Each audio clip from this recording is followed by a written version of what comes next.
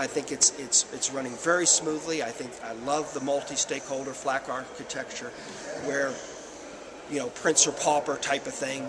You know Vint Cerf versus Garland McCoy or anyone else. You know we're all we're all look look to you know obviously he's got a following, but I mean in, in, in terms of how we're all we're, how we're all allowed to have a, a, voice and allowed to participate in this thing, I think is, is, is just outstanding. You know, versus say the ITU, where it's still very much the old, you know, hierarchical. You know, you, you become the president, you get a house, and you know, and you get a car, and you get, and it's all, you know, command and control, top down type of thing. This is this is very much the architecture of the internet.